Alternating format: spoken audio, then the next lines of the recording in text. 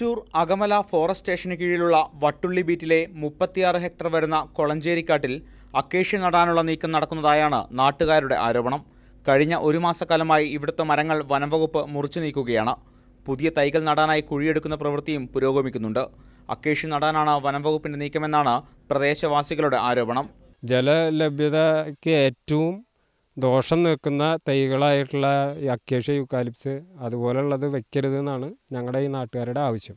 പുതിയ തൈകൾ നട്ടുപിടിപ്പിക്കാനായി ചന്ദനമരങ്ങൾ ഉൾപ്പെടെയുള്ള വൃക്ഷങ്ങളാണ് മുറിച്ചത്.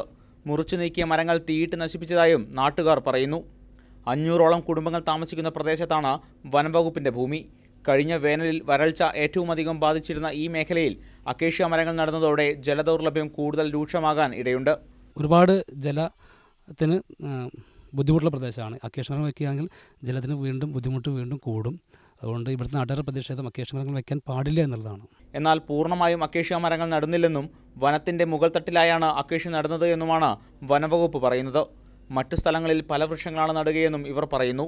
ജനവാസ കേന്ദ്രത്തിൽ അക്കേഷ്യ മരം നടാൻ ശ്രമിച്ചാൽ തടയാനാണ് നാട്ടുകാരുടെ തീരുമാനം. മാതൃഭൂമി ന്യൂസ് ഒറ്റപ്പാലം.